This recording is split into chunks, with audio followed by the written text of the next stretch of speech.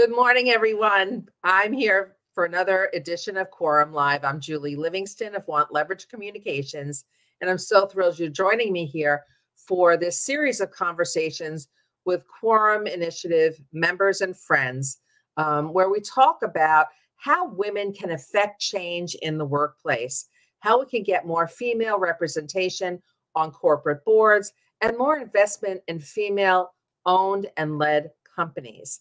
I'm delighted today to welcome my guest, Susan Lindner. She's the founder and CEO of Innovation Storytellers, a leading innovation storytelling consulting firm.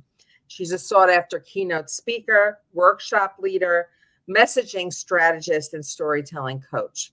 Susan draws upon her experiences as an anthropologist. I love that. And I want to hear more about that, Susan. An international aid worker in rural Thailand in the 90s, where she shared stories that helped at risk populations affected by AIDS and to slow the, the virus's spread. Um, I mean, what an inspiration. Today, Susan leverages those same storytelling skills to inspire innovation leaders around the globe to become incredible storytellers and ensure that their innovations and big ideas get the resources, runway, and recognition they deserve. Susan hosts the popular podcast Innovation Storytellers, which features interviews with global leaders from companies such as Amazon, Bloomberg, and Cisco about the stories that move their innovations forward past the boardroom, the laboratory, and production line and into our everyday lives. So, welcome, Susan.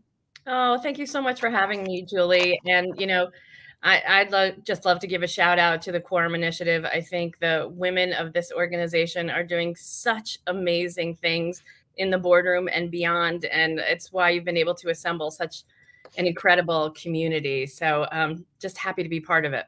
Yeah, I couldn't agree more. I feel similarly for sure. So, positioning positioning yourself as a, an innovator um, is something you've done successfully throughout your career. So I'd love to hear more about how you got started in this, especially your beginnings in on the ground in Thailand. Um, I think is fascinating. So if you could share some of that, Susan, that would be great. Sure. Um, you know, I I never really thought of storytelling really or the work that I was doing as storytelling um, until I got back home. Um, and I think for many people, storytelling kind of finds them in ways they weren't necessarily seeking out. My time in Thailand was in the early 90s when HIV was running rampant through Southeast Asia and so many other parts of the world. Um, I was working for the biggest nonprofit organization in Thailand and um, working on all different kinds of development projects, but spent a lot of time working in brothels doing HIV education with wow. workers and their customers.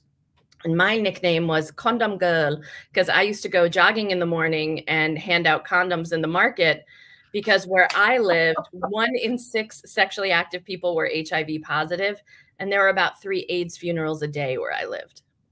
Wow. It was intense. It's just incredible. Yeah. Mm-hmm. Yeah. And so my task was um, helping to figure out how could we slow the spread of HIV um, in a place where women were seeing up to eight customers a night. And so, if you can, I mean, just as women, the thought of of having sex I, eight times in a night is is baffling, even with a partner that you enjoy. I mean, it's brutal, right? Much less um, having sex with people that you don't know about, you don't know if they're safe, and you don't know if you're going to walk away from the interaction um, safe, safely and and healthy as well. And so um, the way the minister of public the ministry of public health was handling it was using these shock and awe fear campaigns get aids and die. Literally there were billboards um, as you were driving down the highway that said get aids and die. And they were terrifying. And but by the way they worked they worked for about six months, and then we would see infection rates climb again. And so this was really challenging because as marketers, when we find something that works, what do we do? We double down on it. And so then we went through another cycle of shock and awe, but you get this kind of boy who cried wolf because in public health, and we all saw it during COVID. So much of this was reminiscent of it for me is you put out a fear message, it works for a while, people are terrified, and then people go, wait a minute, I didn't get COVID, I'm fine. Right, exactly. Why do I need to mask and do all the get a booster and I'll do all this stuff? Right. Why do I need to wear a condom every single time? I'm fine. Nothing's ever happened to me. So why should I worry about it? And so this was this was the challenge of any public health worker. And so as an anthropologist, it seemed that we weren't getting to the heart of the matter. And so at, as an anthropologist, we use techniques like ethnography, where we interview people and find out about their lives and what matters to them. And we use appreciative inquiry, which is a style of questioning um, and interviewing that says, what are we doing that's working and how can we build on it? So it's mm. the opposite of a fear and scare campaign. So appreciative inquiry allows you to appreciate and grow the stuff that's working. So we started asking my three target groups, the mama sans, typically women who own the brothels. And I should mention prostitution is illegal in Thailand. Um, it's largely run, you know, and funded with organized crime money, but for the most part, um, it, it's illegal. It's still very easy to purchase sex. But for the mama sans, we asked them, you know, what's most important to you? And they said, making money. And I said, what's really important to you? And they said, you know, I want my establishment to be here for the long term. They had already had an experience where most of their first brothels went out of business because all of the workers had died and many of their customers. So like, how do I build a business based on longevity? That's what we heard when we asked deeper questions. And for the customers, obviously they were looking for a night of pleasure, which was a typical night out. You go out for dinner with some friends, you have a couple of drinks, you can go to hear live music, you could go and shoot pool, or you can go to a brothel. No stigma, no nothing. That's a typical night. And we said, What do you really want if you're going to go to a brothel? And these men would say, I want to be the protector of my family. And I want to ensure that my wife and future children don't get HIV. And for the women, we asked them what did they want and they said they wanted to survive. And I said, "So if you survived, what would come next?" And they said, "I just want to be in control of my own destiny. Mm-hmm. I want to be in control of my future because HIV ends that." And so we started putting together um, entrepreneurship programs for these women to help women who wanted to get out of sex work to start their own small businesses. So this girl from the Bronx was teaching chicken raising, pig raising, and duck raising, along with my phenomenal Thai colleagues who really showed me how to do this work because I had no clue, and um, and also other skills like computer skills and um, even gem cutting. I was in the Golden Triangle. It's an area rich in rubies, emeralds, and and sapphires, and so we teach them how to cut and polish gems. And so you know, the pivotal part of the storytelling, which I only realized when I came home, was how do I make my listener the hero of the story? And so when I started doing marketing and PR for startups in the 90s at the at the height of the internet boom, I started to ask the question of the startups that I was working with how do I how do we make your customer the hero of the story? And so we started talking about the customer's the hero. And then we just kept figuring out using appreciative inquiry, using ethnography, trying to figure out um, the answer to that question. What would make them feel like the hero? Because when you designate a hero, then people, um, those heroes begin telling their friends, Oh, and- absolutely. I mean, so so I mean, you started to say how why storytelling is important at work. Mm. But tell us about why it's so critical for women. Yeah. Well, because I think we falter at this. Yeah, and by the way, the way men and women tell stories and what the way those stories are received are very different. And it hasn't been that long that outside of the home that women are in positions of authority where men are willing to listen. And I'm constantly reminded of the um, the anecdotes we heard out of the Obama administration. Someone who you think is really open minded, has you know had a had a woman as a boss before they married right michelle was Ob- was barack's boss prior right prior to him um, becoming the president and women in even obama's cabinet said that they would strategize before they went into a cabinet meeting and they would say okay i'm going to bring up a new resolution i'm going to bring up a new concept and then there are two other female um, cabinet members would say, Great, you bring up the idea. I'm going to ask you to repeat the idea. A third woman is going to say, But I have a question about that idea. And they planned and strategized how they would speak in the boardroom so that they would be heard. And that was the way I'm imagining in most cases where they were able to be heard, be seen as innovative, be be listened to, and to move their idea forward. Right. Because what we found in working in innovation and specifically around innovation storytelling is that you need other advocates for a breakthrough idea in order for the idea to be heard, received, and for it to be shared with someone else. And so, you know, getting into the tech world, you always need early adopters, people who are willing to try the technology, right. give it a shot. But that's also the case of ideas. You know, especially when you're sharing an idea, it needs the force of a crowd. It needs endorsement. It needs testimonial. It needs um, other ways of really rooting an idea that can seem really ethereal when you first suggest it. It's kind of like planting the seeds, right? For something to grow, um, to set it up, to set the stage for it to be um, nurtured. Right. And I would say the seed is the idea, but you really need the soil and the water from, you know, other people around you to ensure that it grows. Otherwise, it can very easily blow away. Someone else can pick up your seeds and plant the idea and pretend it's theirs. There are lots of other things that are going on that can make um, innovation storytelling challenging, especially in highly politicized um, corporate environments or organizational environments too. So, what is you're using this term innovation storytelling? Um, what is the difference between storytelling, just generic storytelling, and innovation storytelling? And okay. why, again, is that so critical for women? So, if you have an idea that's asking people to change, or and especially if you're asking them to change behavior, you need to physically move them. You need to overcome inertia. So, regular story may be let me tell you about my weekend, let me tell you about an experience I had, let me tell you about a customer. These are all fantastic stories. We're very familiar with the arc of um, problem, action, result. You know, like here's the problem, here's the action we took to solve it, right. here's the result right. that we got. Fantastic. That's been around in marketing forever. Innovation storytelling is when you are trying to get across a new idea, uh, a new product, a new service, a prototype, or a behavior change, right? Maybe even social change. So that requires something different and it requires a lot more consensus building on the front end of a story than you would need if you were just saying, Oh, I cut my hair, right? Or let me tell you about our production numbers for this quarter. And so let me, I'll walk you through what's different about that.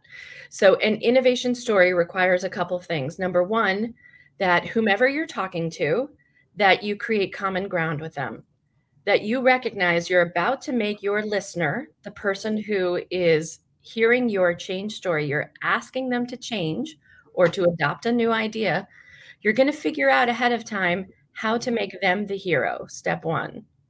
Step two is creating common ground, is saying, I know where you are, I see where you're from. You and I share a history, good, bad, and ugly.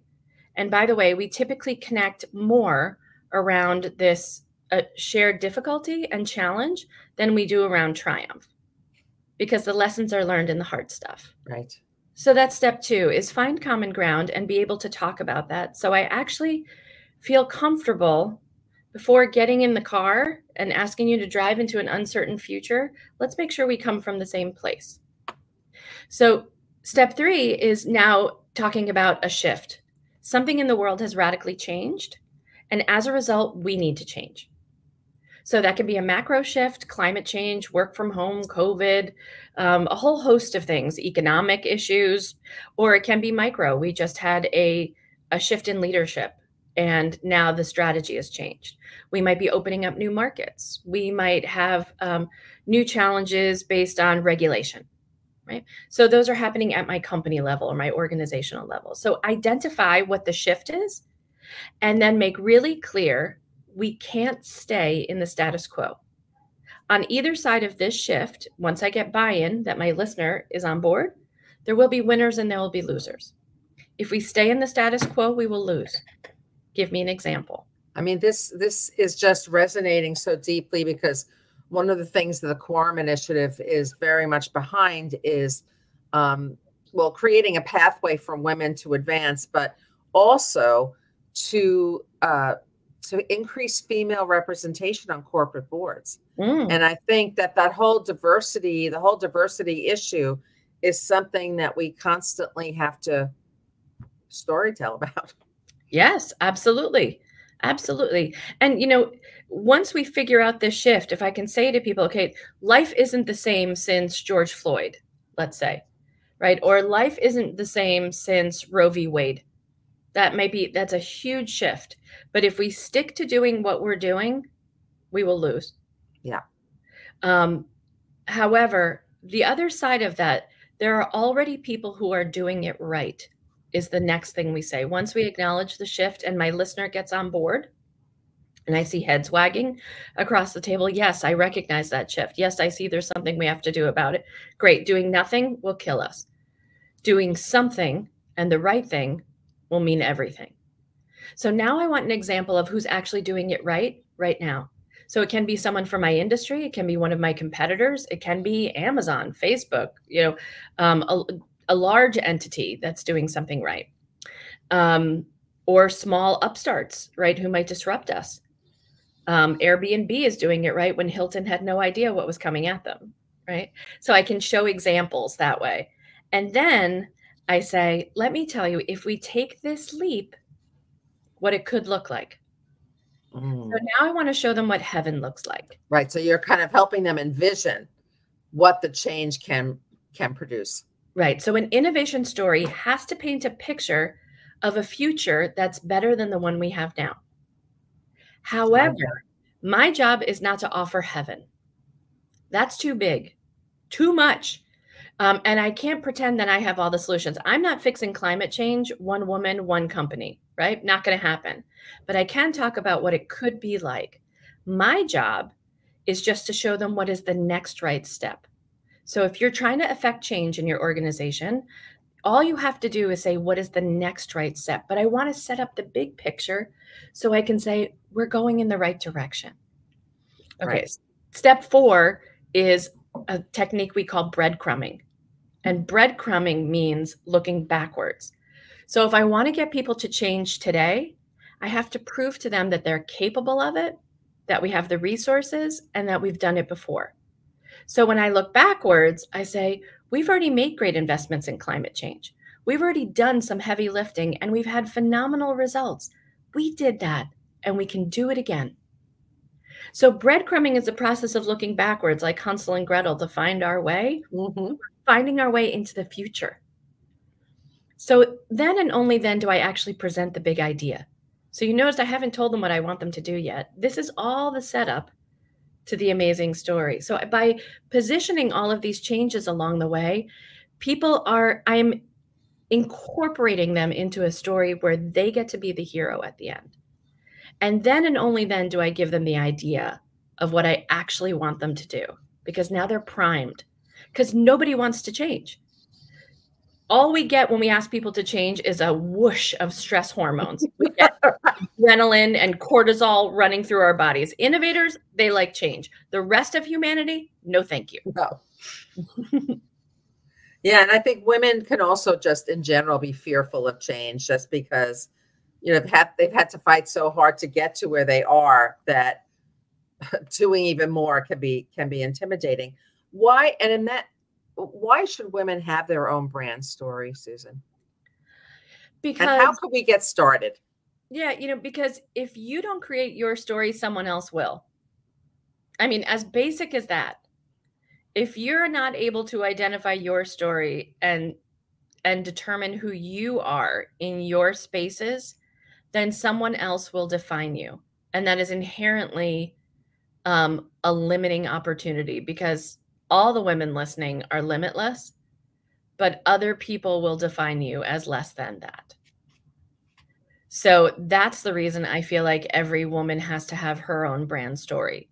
So I would ask you to think about where are the shifts just like i was naming you know whether i'm trying to introduce a new idea or new product or service um, i would ask you where have been the big shifts in your life because those have been the places where you have probably assumed power and come yeah. out on the other side even stronger so take a look at your own lifeline career wise or your entirety of your life women we go through so many changes men can't even fathom right it's growing up, it's leaving our childhood things behind. Why do men still get to play with action figures and video games where women don't? Like, there are no rites of passage for men that say, put your toys away, right? We're not still playing with Barbies at 50. But, but, but, so anyway, those demarcations of life are opportunities where you will see your own self as a hero the your own places where you have been victorious or maybe places where you have fallen down by the way no great story has no drama you must have drama in order to have a fantastic story. You must have challenge. So don't leave those out of your story. That's Plus, and who doesn't? I mean that's just a right. part of life. But that's also where your listener connects with you. So yeah. if you're in a recruiting situation or you're talking about you know what i hit my quarterly goals don't leave out all the obstacles. Because the fact that you increase sales by 75% talk about how hard it was to do that thing if you describe it as effortless all you're doing is setting unreal expectations for the person that you're talking to so right really, showcasing your innovative thinking and problem yeah. solving right and how you surmounted the obstacle yeah. absolutely yeah yeah. Yeah. Don't leave out the tough stuff. That's actually where we connect. It's actually where we develop empathy for the person across the table for us. And they go, Oh my gosh, me too. Wasn't that horrible? That was really hard. I don't know how we did it. I love this. And and it really is prompting so many thoughts about my own storytelling. And in my professional life, I'm a LinkedIn expert uh, and a mm-hmm. publicist. So I'm always telling somebody's story. And um, and always changing it up. You know, there were there's this because we live in a digital world. I'm able to do that, but um, I have found that when I do tell my clients stories and I do express times where they were, you know, challenged, where they had to, you know, kind of climb up a hill, it really resonates so strongly. There's no question about it. You know, and you think about it in the world of sports. And by the way, I'm allergic to most sports. Don't enjoy that. but um, and I've outlawed sports metaphors because I don't understand them in most of my most of my professional life. But how boring would it be to just watch Michael Jordan shoot three pointers from, you know, from half court for an hour? The the what's exciting is that he conquers the other team, right? Of LeBron James figuring out the most incredible strategies. Like that's the drama, that's the action that we want to hear. If you just go, I increased sales, I doubled my team, like there's nothing there. There's nothing there for us to hold on to as humans. We connect, you know, the agony creates the empathy. So, in terms of, you know, at Quorum, we like to talk about how we can actually affect change. How can we start um, embracing innovation storytelling? For ourselves. Um, how should women, how should our members and friends get started? Yeah. Doing is it looking at, I don't know, because I'm on LinkedIn all the time. I'm thinking, is it looking at your profile and then kind of really dissecting it even more and then kind of pulling out those things that perhaps were buried? Yeah, or if you, you know, think about the top 3 lines of your resume, right? They're probably the things you're most proud of, the things you got accomplished. I would just ask you to think about tough verbs that you might incorporate into that line of results overcame massive obstacles in, you know, emerging markets to hit 65% growth. Right? If you can incorporate a little bit of the drama into that discussion, all the better. And Um, the other thing is a tool that I like to use before I ever tell a story. By the way, number one skill in storytelling is actually listening, not speaking. So, knowing your audience and what motivates their behavior, not just mm. their personality, but what motivates their behavior. So, part of design thinking work is using something called an empathy map. Typically, computer programmers and developers use this to figure out a customer experience with a new piece of software. I love using it before I create a story. And so I'm asking tough questions, especially ones like, what is the pain and what is the potential gain of the idea that I'm proposing to my listener? What will they get out of my idea and what will give them pain in executing my idea? If I can anticipate those two questions before I offer a new idea at work, then I'm 50% there. And creating empathy for what I'm really asking someone to do and how hard what I'm doing um, and what I'm asking of them is um, is great for us to go. Wow, I just want them to get it done. What the, is the problem? Okay, take a step back. Yeah. Ask the question: What is their pain and what is their potential gain? Um, and you'll just find you're gaining so many more allies at work when you stop for a moment and cr- try to create a little empathy map about what motivates them. That's powerful. Mm. Um, where can people get in touch with you, Susan? Absolutely. LinkedIn is my favorite place to be. So, absolutely.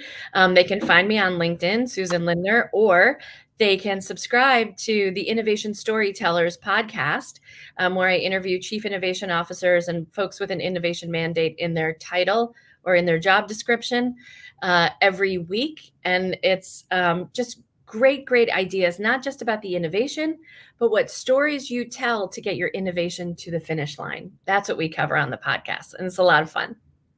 That's wonderful. Thank you so much for joining me today. Um, I really, I, I think, well, you've inspired me complete to really kind of um, rethink how I, uh, how I present my own brand story and, and certainly that of my clients.